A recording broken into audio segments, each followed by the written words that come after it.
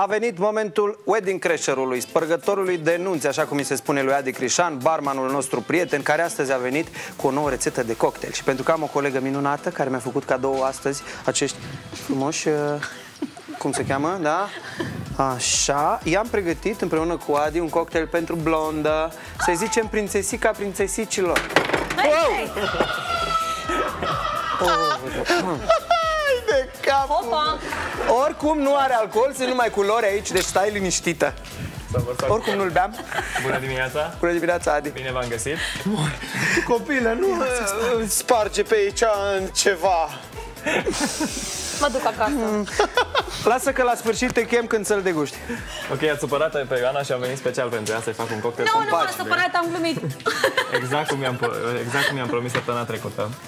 M-am Cocktail documentat de blonde. destul de mult, dar e destul de, de greu să găsesc cocktailul pentru blonde. Încă nu l-a inventat nimeni, așa că e o nișă bună pentru noi. Să... Deci în premieră e o creație de-a ta, da? Cum ți-am zis, de tine mi mai dor ca de Veclenit și de Andreea Someșan.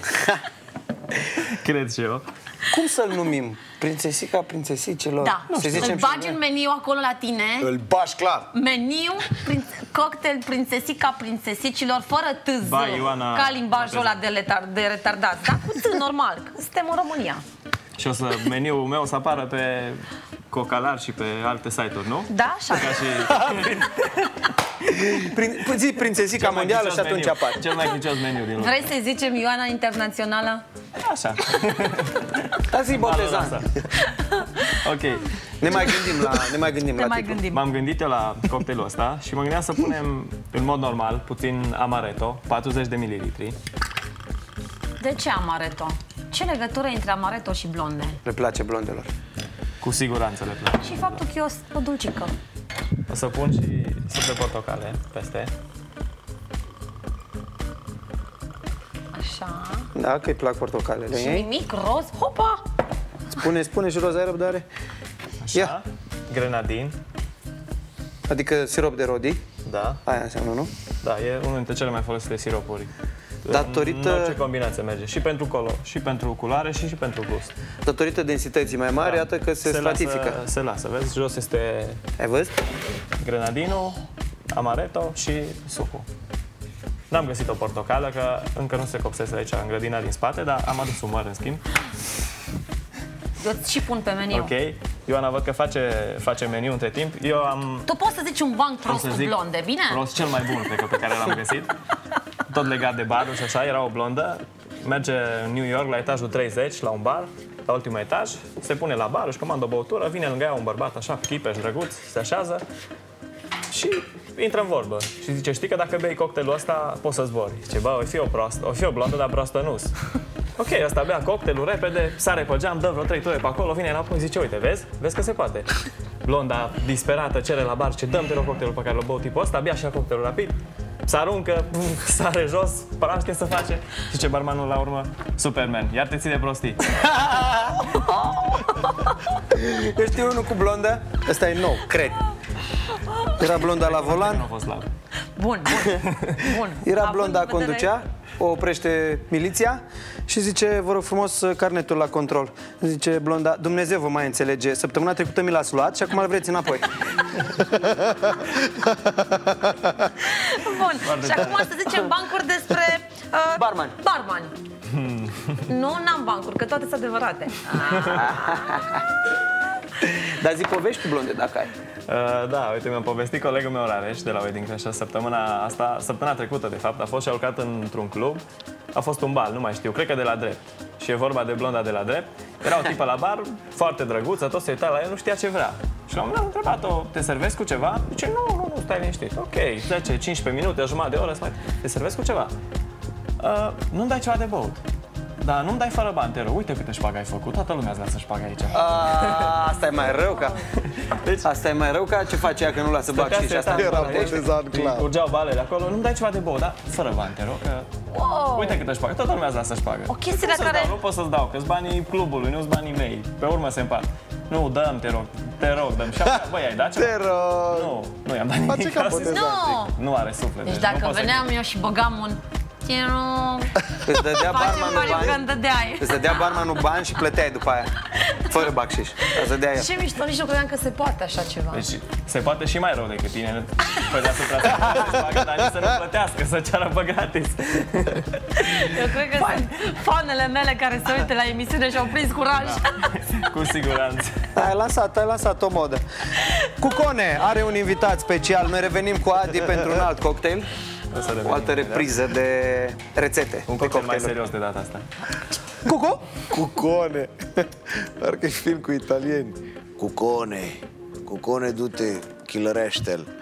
Da, trecem de la faptul că Botezan nu vrea să recunoască că ea era, de fapt, fata care stătea la bar la Adi, dar era mascată. Era mascată în Dragoș. Trecem la festivalul filmului francez de... Ui, Chiar e vineri. Festivalul filmului francez de la Cluj cu Raluca Mateiu. Servus Raluca, de ce te-ai căsătorit? Bună dimineața! Um, Îmi zice înainte, ce mă întrebi, sim să știu e, Cum era să zic, vezi că te întreb asta Bine, Raluca, atunci nu de ce te-ai căsătorit, de ce ți-ai schimbat numele din Ghervan, pentru că toată lumea te știa așa. Aveam nevoie de o, de o schimbare și m-am gândit să-mi schimb numele. Stai Eu mă foarte duc la shopping, tu te măriți? Nu de asta m-am măritat, de asta mi-am schimbat numele, ca să... Ce fain foarte bun. Unii merg la Să mai shopping schimbăm. Alții merg la servici Schimba. Nu, a vrut, a vrut să facă o schimbare, să schimbe numele și chestia cu soțul e o treabă colaterală, adică ai primit și bonusul în soț. Da, exact. Deci data viitoare, când o să mai am nevoie de o schimbare în viața mea, jur că mă mărit. Câți ani are garanție soțul? Trei ani, trei ani cel puțin după, ce, după cât te zice După Bike care se Weather. pierde sau se strâcă Așa zice Bike Weather. Sau se Trei fură. ani. Sau se duce la alta. Sau să trecem la subiectul nostru, să nu o luăm razna chiar de tot. Festivalul filmului francez la Cluj. Ce caută festivalul filmului la francez la Cluj? Zic eu, ca și când ar întreba un telespectator. Că mie îmi place că există așa ceva. Păi îl organizăm în fiecare an și anul acesta nu e organizat doar la Cluj, ci în toată țara. A început la București la sfârșitul uh, octombrie și uh, continuă la Cluj, Iași, Timișoara, Târgu Mureș și Sibiu. Deci e, nu e, e de câți ani? E națională. E a 16-a ediție la, nivelul, la nivel național. 16 ediție. Da. Bun. Filmele. Văd aici foarte puține filme. Avem 8 filme, Un uh, festival cu 8 filme. 8 filme. 8 filme. filme și o invitată și invitată. două evenimente conexe, da. Um, opt filme, majoritatea din ele sunt uh, re, foarte recente, 2011-2012, uh, sunt în premieră. Am deschis aseară cu uh, filmul O dramă, 38 de martori, martori, Martor, martor. martori Ia al, timp, ia ai lui, uh, uh, film al lui uh, Lucas Belvo, uh, pe care va fi redifuzat, cred că mâine. Și uh, pe lângă asta avem o mulțime de comedii um, despre dragoste și infidelitate. Aici îmi place, deci zici că dragostea și infidelitate. Asta e subiectul anului în curs al festivalului? Da. Sau doar s-au potrivit? O, dă și la invitat. Nu, asta e, asta e sub- Avem un obicei aici, trebuie să nu să fumăm pipa păcii și să bem din uh, sucul prieteniei. Sucul prieteniei. Parcă e cam de vreme pentru amaretto, nu știu. Dar nu are amaretto, că noi Nu crezi folosim... că băgăm alcool în el? Nu băgăm alcool în ele, că nu avem voie la televizor, folosim doar uh, cremă de zahăr, ars și altele. Da, mă rog, Și un praf, care nu-l putem zice la televizor. dragoste cu forța nu poți. Deci, în alt, uh, e o temă în fiecare an clară despre filme la festival. Depinde, Acum e depinde. cu A, Iubire, anul ăsta e cu iubire și... deznădejde. Și deznădejde, da. Da. Exact. Da, nu, nu în fiecare an este o temă clară. Anul ăsta este. Și avem uh, mai multe filme pe tema asta. Unul e Iubirea durează trei ani. al lui- Acum avem chiar imagini. Al lui Frederick Beigbeder, primul film regizat de el după propria lui carte. Ah, deci e după carte, ecranizarea cărții. Da. Mai du-te, mă! De unde știi, mă? Bravo, bravo! Mi-a zis ea. Bravo! Um, un alt film se numește Infidelii și e cu Jean Dujardin, pe care poate l-ați cunoscut. Te rog. la unde să-l cunoaștem? La, la televizor, că a câștigat uh, Oscarul, nu? Pentru artistul Jean Dujardin.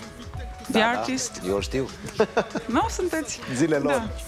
Uite acolo. Pardon. Așa, tu nu sorbi din cocktail.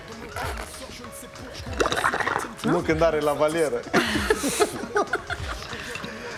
Continuați. Deci joacă și domnul din... Uh, Joacă și regizează. Și regizează. Da. Ce șmecher. Da, ea a fost o idee de-a lui să facă, să roage, de fapt, șapte regizori, șase, șapte cu el, um, să facă fiecare câte un scurtmetraj despre infidelitatea masculină, contemporană, pariziană. Și aceste scurtmetraje sunt adunate într-un film care se numește Infidelii și e proiectat uh, sâmbătă seara de la ora 9, mi se pare. La cinematograful Victoria, pentru că toate filmele sunt la cinematograful Victoria. La Victoria. Da. Deci aveți o relație cu cinematograful frumoasă. Da. Exact. Ca un film la care Cucu poate să meargă singur. Uh... N-ai un cuțit, Dragoș. Am ciocan De ce cu de bătușnițele. Ba, mă dai la televizor că umblu din floare în floare, ba, sunt tot singur. Are ce o să mai creadă lumea? Că... Că nu ne interesează tare. Da. Așa, și mai avem uh, și filme pentru, un film pentru copii, o, care e un film de animație, dar și musical, uh, se numește Un monstru la Paris și uh, are vocile lui Vanessa Paradis și M. Și vă invit cu căldură să-l vedeți în familie sau uh, poate cu clase de elevi, În familie dacă avem. dacă aveți. Da. Um, Filmul acesta și încă două dintre ele sunt însoțite de câte un dosar pedagogic pentru profesorii care vor să exploateze filmele la clasă, deci să discute cu elevii sau fie după film, fie înainte de film. Ar fi cazul Ce să tare. fac așa ceva, dar m-aș înclin să cred că nu se face așa. Noi încercăm să încurajăm educația în domeniul audiovizual uh, și atunci am, am pregătit trei dosare pentru trei dintre filme, uh, care sunt descărcabile de pe site-ul nostru. Se dau uh, premii? Uh, Nu e un festival cu competiție, nu. Festival amical? E un festival amical, da. Ce drăguț. da. Fără premii. Și avem și o invitată specială, uh, regizoarea Emilie Deleuze, care mm, va prezenta un, o, tot o comedie, un film care se numește În doi e mai ușor, să știi. Um, Bine. Bine, hai, zi. Așa. și care uh, sâmbătă m, de la ora două jumătate va anima o lecție de cinema despre producția de film pentru televiziune versus pentru uh, marele ecran. Uh, Ea făcând filme și pentru televiziune și pentru marele ecran, dar nu e invitată aici doar pentru, um, pentru film, ci și pentru um, prezentarea cărții tatălui ei, Gilles Deleuze, filozoful Gilles Deleuze, um, a cărui carte a fost recent tradusă în limba română și publicată la editura Tact. Lansarea va avea loc um, în seara aceasta de la ora 18 la librăria Cărturești și, uh, va- bineînțeles, va fi prezentă și fica, fica lui.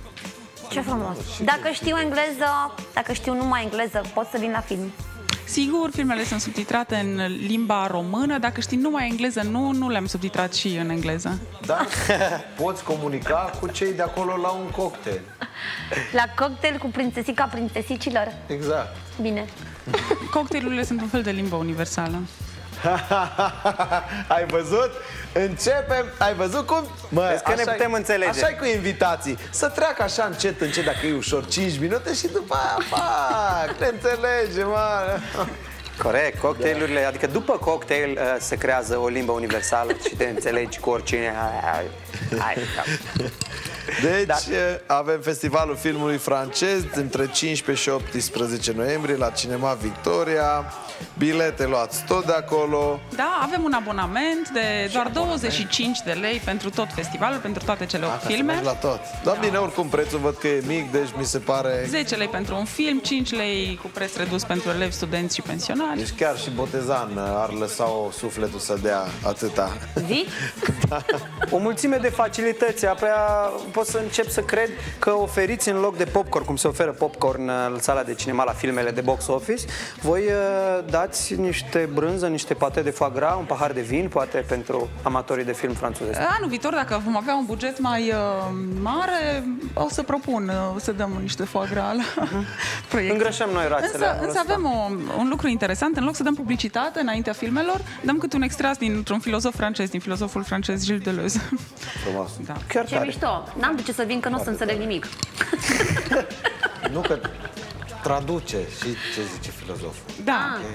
Ah, Îmi place, Dragoș, Sunt atunci... extrase de 3 minute, așa, din, uh, dintr- dintr-o serie care se numește Abecedarul lui Deleuze, uh, singura dată când a acceptat să fac un interviu. Uh, e un interviu, de fapt, de 8 ore, dar am ales doar secvențe de, de câte două minute. Ce frumos! În care vorbește despre câte un concept și îl adaptează filozofiei. Deci să țineți minte să mergeți la Festivalul Filmului Francez și de câte ori aveți nevoie de o schimbare să vă căsătoriți. Îți mulțumim frumos! Cum a început și Radica Mateiu. Merci beaucoup. Mulțumim, Avec Raluca. grand plaisir. Îți doresc mult noroc în viața personală. Mulțumesc. Să vă țâie Dumnezeu mult. Asta în franceză. Fericire și toate cele. Mulțumesc! Domnul Dragoș. mai, mai, mai, mai pun Doriana, o s'il te plaît, euh, présentez l'horoscope.